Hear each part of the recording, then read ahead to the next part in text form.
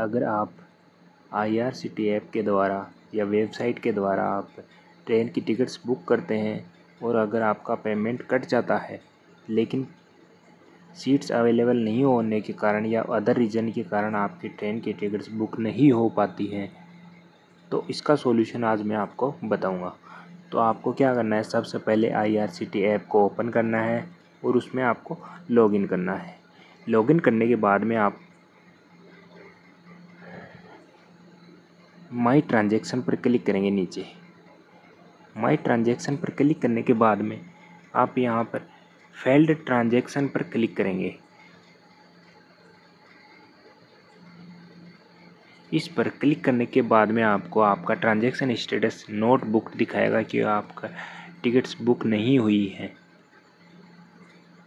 और यहाँ पे आपको ट्रांजेक्शन आईडी दिखाई देगा और यहाँ पर आपको डेट दिखाई देगी। और कहाँ से कहाँ के लिए ट्रेन बुक की थी आपको, सब कंप्लीट डिटेल्स दिखाई देंगी तो आपको इस ऊपर क्लिक करना है। क्लिक करने के बाद में आप देखेंगे कि मैंने भी ट्रेन की टिकट्स बुक की थी, लेकिन अवेलेबल नहीं होने के कारण मेरी सीट्स बुक नहीं हो पाई थी। तो उसके लिए मैंने रिफ़ंड के लिए क्या प्रोसेस किया था, मैं बता रहा हूँ आपको। तो मैंने उस, या यहाँ पर देखो आप, मेरा रिफ़ंड आ चुका है, अमाउंट रिसीव्ड फ्रॉम बैंक। यहाँ पर आप रेफरेंस नंबर भी आ गए हैं और पाँच सौ बयालीस पॉइंट पाँच का रिफ़ंड था मेरा। तो आपको क्या करना है? यहाँ पर मोर ऑप्शन पर क्लिक करना है नीचे। मोर ऑप्शन पे आपको क्लिक करना है।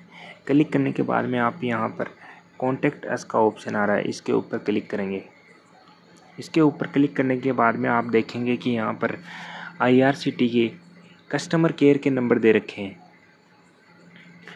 दो कस्टमर केयर के नंबर दे रखे हैं। आपको इन पर सिंपल सा कॉल करना है। हिंदी और इंग्लिश दोनों में अवेलेबल है। आप यहाँ पर कॉल करके इनको ट्रांजेक्शन आईडी बताना है आपकी। आपको अपनी ट्रांजेक्शन आईडी को बताना है और डेट बताना है कि इस डेट को हमने ट्रांजेक्शन किया था और हमारी सीट्स बुक नहीं हो पाई। वो रीज़न बता देना। उनको भी पता चल जाता है कि किस रीज़न से आपकी टिकट्स बुक नहीं हुई थी। और इसका दूसरा सॉल्यूशन ये है कि आप यहाँ पर इनको मेल भी कर सकते हैं, ईमेल कर सकते हैं आप। Care at the rate I R C T dot co dot in पर। इसके ऊपर आप इनको ईमेल कर सकते हैं और उसको में आपको मेंशन करना है कि इस वजह से मेरी ट्रेन की टिकट्स बुक नहीं हुई थी और आपको उसमें ट्रांजेक्शन आईडी भी मेंशन करना है। ट्रांजेक्शन आईडी और डेट दोनों में मेंशन करना है। फिर आपका रिप्लाई दो दिन के अंदर अंदर आपका रिप्लाई आएगा।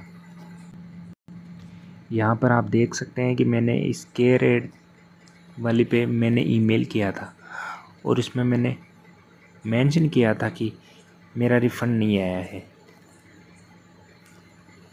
ये देखिए, मैंने यहाँ पर मैसेज किया था कि मैंने कल वेबसाइट के द्वारा ट्रेन की टिकट्स बुक की थी, लेकिन मेरा पेमेंट कट गया है, लेकिन मुझे जल्दी से जल्दी रिफ़ंड करो। तो मैंने इसमें ट्रांजेक्शन आईडी और डेट मेंशन की थी।